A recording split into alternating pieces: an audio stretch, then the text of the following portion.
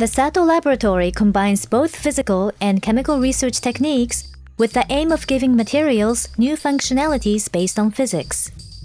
In particular, the Sato lab studies ways of artificially turning substances that don't stick to magnets into ferromagnetic materials by considering the basic principles of magnetism. The team is also studying ways of using magnetic materials that are not ferromagnetic. In this way, the researchers are seeking new possibilities for magnetic materials. Magnetic materials have a wide range of uses, such as hard disks and other memory media, and motors for electric vehicles. Magnetism arises because each atom and electron is a tiny magnet, and when these tiny magnets are aligned, the material is ferromagnetic.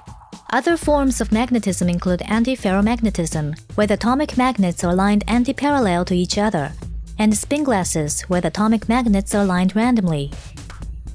Despite such a diversity of magnetic materials, so far most applications have involved improving the performance of ferromagnetic materials, which are well understood. To some extent, the substances that are usable have been limited. 我々としてはだから今まで強磁性ではない材料をなんとか強磁性にしたいということが一つあります。または強磁性体以外の材料をなんとか使えるようにしてみたいということがあります。強磁性体にするということは まあ、なんか今まで強制でないものに何か影響を与えなきゃいけません。で我々としてまずやったことは材料を小さくするナノサイズ化するということを試みました。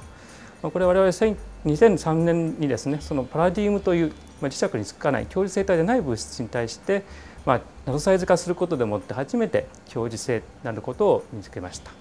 それ以外にも、まあ、その方法をよく考えていきますと例えば物質に電場をかけるとかそういったことでもっても教室を発現させることができます。ということでいろんな新しい材料を今後開発することができるんじゃないかというふうに期待しております。Regarding ways of using materials that are not ferromagnetic, the researchers are focusing on materials called spin glasses. A spin glass is a magnetic material where the spins have frozen in a random arrangement. The random interaction between spins causes frustration of the spins, In this way, very interesting phenomena have been reported, such as aging, rejuvenation, and memory effects. この材料は非常に不思議な記憶をしてくれます。どういう記憶かと言いますと普通、まあ、記憶媒体考えますと10で記憶しますけれどもその材料はタッチ記憶つまり12345みたいな非常にいくつもの情報を重ね合わせて記憶できます。またもう一つは記憶と記憶の間に何か関係があって何か連想します。どういうことかって言いますと我々は例えば人間というのは青いっていうと空を思い出したりとか赤いっていうと夕日を思い出したりしますね。そういうことを実際に磁性体の中で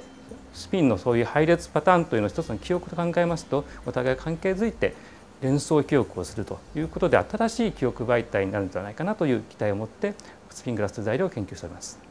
えー、まあ我々研究する時のスタンスというのは今までやってない考え方を使いたいで根源からまず考えていきたいということであります。今まであるもの基地のものを何か変えていこうってそれだけじゃなくて全く一から何か新しいものを考えるというスタンスで考えていくと、